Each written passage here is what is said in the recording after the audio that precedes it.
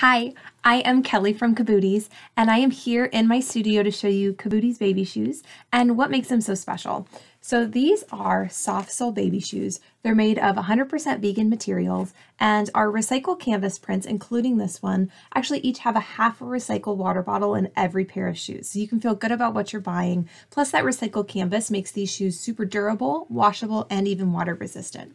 So they all have this special elastic that goes all the way around the tops, which you can open up wide and put your baby's foot right inside there.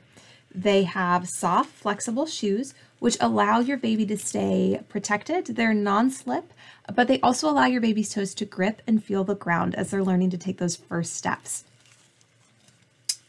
Here you go. Here's a pair of Cabooty soft sole shoes. These are our pebble dot print.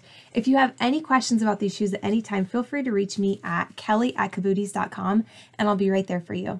Thanks. Have a good day.